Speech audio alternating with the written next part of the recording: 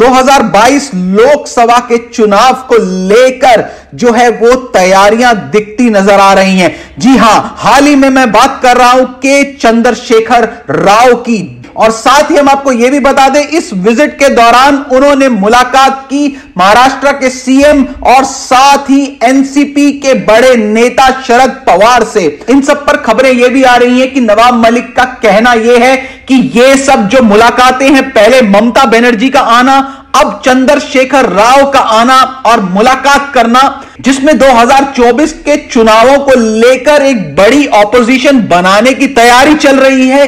और जहाँ पे प्लानिंग की जा रही है कि किस तरीके से दिया जा सकता है बीजेपी को कड़ा चुनावी मुकाबला। अब क्या ये जो पॉलिटिकल मुलाकातें हैं अलग अलग पार्टियों की, किस तरफ़ ले जा रही हैं रुख? और क्या वाकई में ही हमें एक बड़ा गठबंधन देखने को मिलेगा 2024 के लोकसभा के चुनावों में, जो कि आगे आने वाली हवाओं का रुख ही बताएगा। यह थी गौरव नरूला की report, the true hunt channel के लिए।